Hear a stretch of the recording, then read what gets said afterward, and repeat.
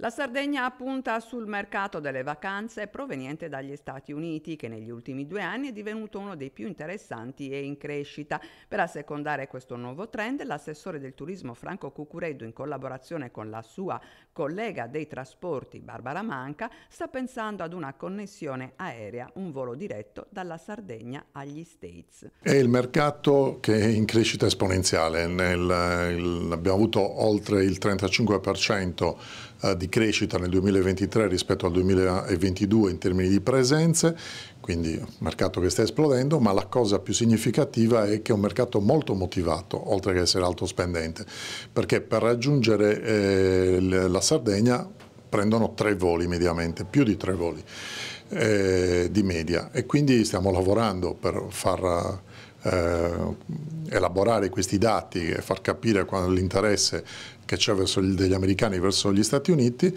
alle principali compagnie aeree del, del mondo perché eh, speriamo che insomma, nel corso del 2026, d'intesa con l'assessorato al turismo che sta per bandire eh, un importante bando che sostiene i costi aeroportuali in partenza e in arrivo, possiamo avere un volo diretto tra la Sardegna e gli Stati Uniti. E i turisti provenienti dagli Stati Uniti chiedono emozioni, viaggi esperienziali e la Sardegna sicuramente saprà accontentarli tra passeggiate in mezzo alla natura, visite misteriosi nuraghi, percorsi enogastronomici e naturalmente spiagge da sogno. È un mercato eh, di gamma abbastanza importante, quindi eh, attenta ai servizi, attenta alle esperienze. È un mercato che punta molto sul turismo esperienziale. Alcuni di questi, per esempio, ci hanno chiesto di inserire all'interno del loro tour le interviste con i centenari, quindi Blue, le Blue Zone sono uno dei prodotti per cui manifestano interesse, tanto per dare una curiosità.